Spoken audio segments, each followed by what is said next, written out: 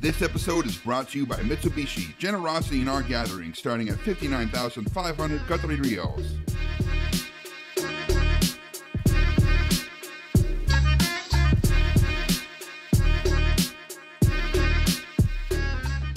Q-tip time, everyone. It's me, Hamad Al-Amari, aka The Qatari Guy, and I'm back here again with another episode of Ramadan Q-tips. Before we start the episode, I need to remind you to go on to ramadan.qa, because if you want to know about everything that's happening, whether it's tents, events, and everything Ramadan, the answer is on ramadan.qa. Today, I'm going to be talking about dishes that rise to the occasion during Ramadan and become household names because every single iftar table in a Qatari household will have these dishes on them.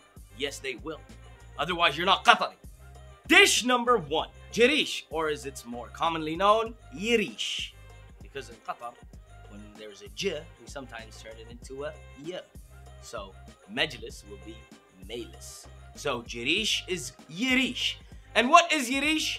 It's basically a bunch of stuff that keeps like they mash it up and it, and it looks gooey and, and brown and and it has chicken bits sometimes, it has meat bits sometimes, but it's all like just mushy.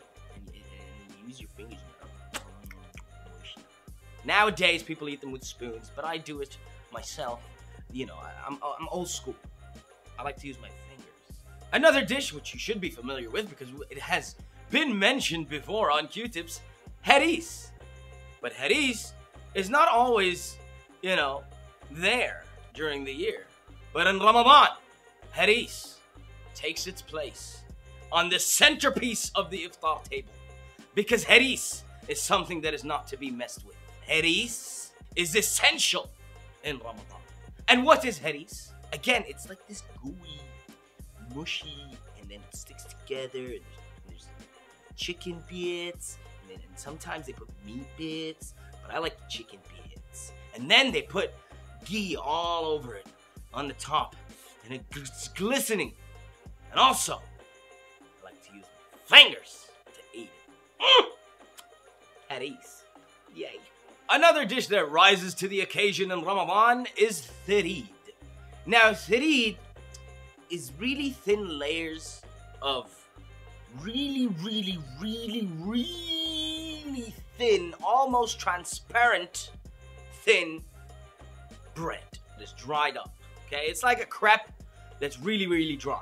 Okay, but then they put layers, layers, layers, layers, layers, layers, layers, and layers, and layers, and layers, and layers, and layers, and layers, and layers, and layers. And then they get a stew or a curry, zucchini, courgette is what I call them. Potatoes. I like potatoes. Carrots. Some people started adding pumpkin and then chicken and meat. And then they take that stew and pour it all over there and, they let the bread soak it all in and the layers just compressed into like a thick bed of juicy goodness. Juicy goodness on the bottom.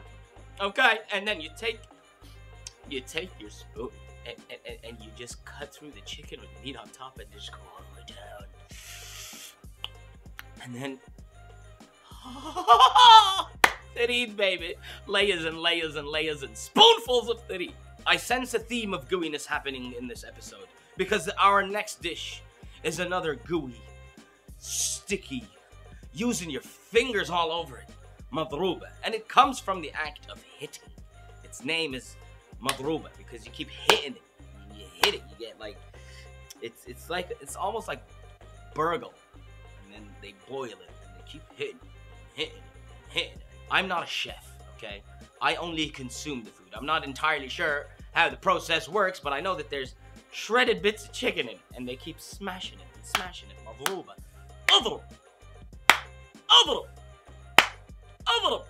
That means hit, hit, hit, and you get madruba, which means it's been hit.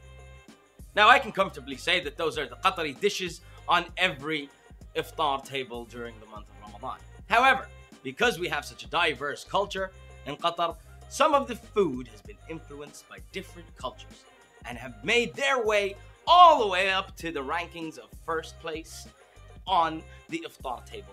In first place is the samosa.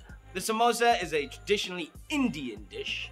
It's little triangles and it's either got vegetables or meat or potatoes that are like so much. And cheese. Now, picture, if you will, a fine doughy piece and a nice little piece of triangular cheese that they roll roll up and make it into a little triangle. And then they deep fry it. And then they take it out and let it kind of sit there. And you get it really hot. It has to be really hot. Once it once it cools down, it doesn't give you that same kind of taste. It's not as crunchy and and, and cheesy and melty.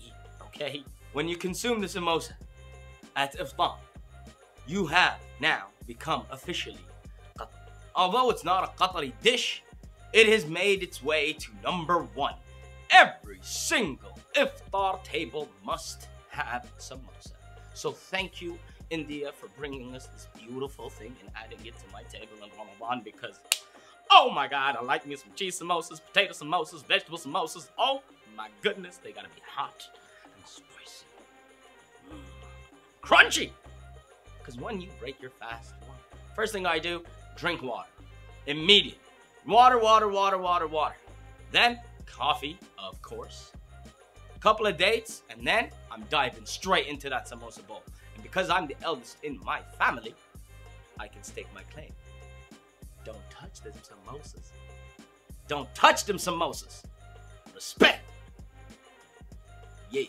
Let's move on to dessert. A Qatari dessert that is definitely the most prominent during Ramadan is ligaymat.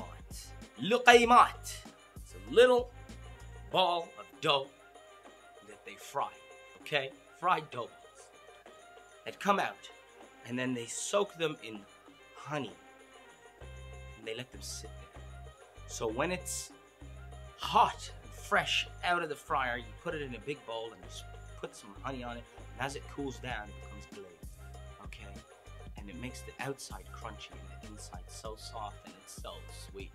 Don't ever put your game out in front of me because you're never gonna get more. Okay? You won't have any more Luqaymat if you put a bowl of it in front of me. I'm gonna eat it all. I'm gonna... Mm. All of it is gonna go.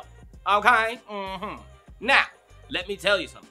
Some people have made it a little bit, you know, with the times. They want to add their own flavor. They want to add their own little twist. Some people started putting some saffron in there. Okay, okay, I'm, I'm okay with that. Some people start sprinkling them with sesame seeds. Not my cup of tea, but they do exist.